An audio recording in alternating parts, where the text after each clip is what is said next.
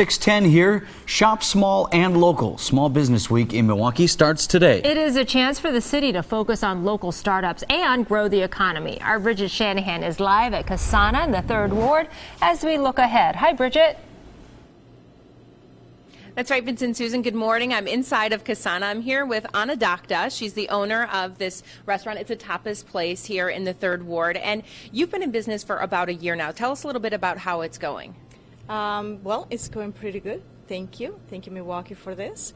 Uh, we just um, did our first anniversary uh, a week ago, so uh, it's going very good. Our reviews are excellent. So we, I think we are in the in the good path right now. Right, and and we all know, you know, when you start up a business, um, often what is it? The first five years they say are often the biggest struggle um, for small business owners. Um, and we were talking a little bit about what local business means to you, because I think a lot of people don't realize when they come support you, they're supporting themselves really, because it, you know, the money comes full circle. Absolutely, and in our case, you know, also I think it's important for us to, to support the, the community. Part of our workforce, Bridget, I don't know if I mentioned that to you.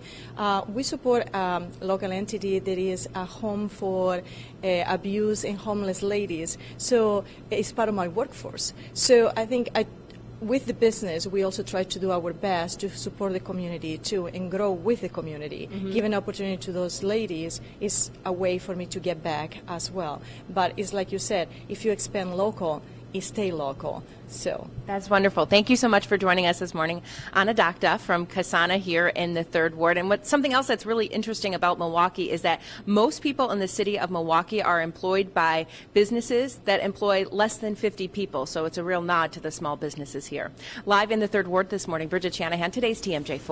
All right, Bridget, thanks very much. And if you want more information, you can go to our website, tmj4.com. And up next on